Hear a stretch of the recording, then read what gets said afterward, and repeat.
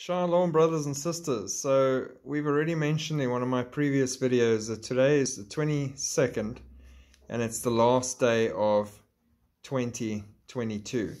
Tomorrow is the 23rd and it'll be the first day of 2023.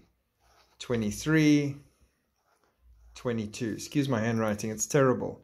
Then I'd like to thank Nicholas van Wyk who showed me this one.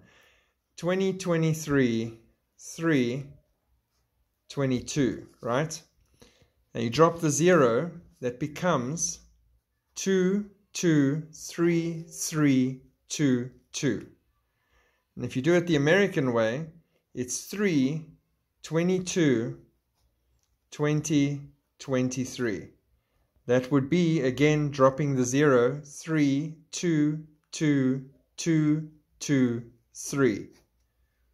What are the odds of everything just being so perfectly laid out today and tomorrow and everything converging?